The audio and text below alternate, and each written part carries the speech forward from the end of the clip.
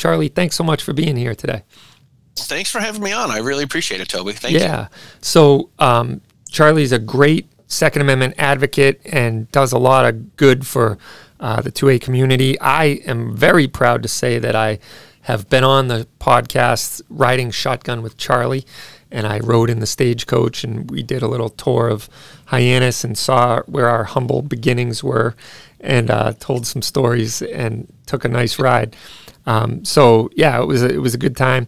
And uh, you've been doing a lot of that lately. Is that still? Uh, it's uh, I keep up with it. Um, I, I, put out shows twice a month on YouTube, and I put the shows out as a podcast as well.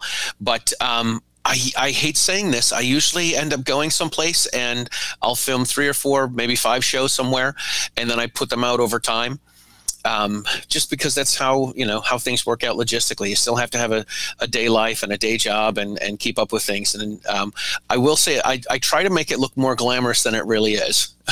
no, I think you do a great job, and it's it's a very very cool nichey uh, something. I think you know that is you don't you don't see every day in gun streamer you know world. Uh, myself included. I mean, I'm just another voice out there in the wilderness shouting about 2A advocacy, but you took a very unique uh, approach to it, and I like how the conversation happens in the car rather than you know how we're doing it right now over Zoom. It's it's definitely a lot more um, a lot more you know.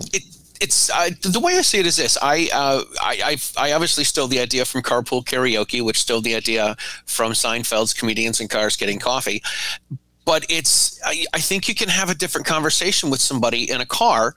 Um, there's there's a, a, level of intimacy there because you're both you know you're you're a captive audience you're in the car you're driving around and it's uh, it's it's different you know obviously there's nothing wrong with with uh, you know phone interviews and doing zoom and stuff but it's got a different feel to it when you're uh, when there's two you know a couple people in the car driving around and talking